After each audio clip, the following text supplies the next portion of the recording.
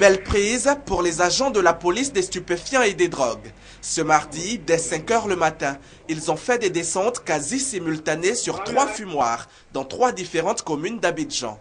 Résultat, deux vendeurs de drogue sont interpellés. Avec eux, 19 consommateurs. Nous avons investi la commune de Trècheville, à Bobo et Cocody.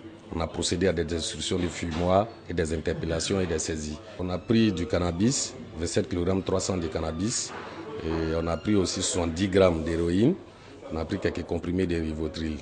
Koulibaly Moussa et Baranyang, les vendeurs, encourent jusqu'à 5 années de prison. Leurs clients, les 19 autres, encourent eux jusqu'à une année de prison.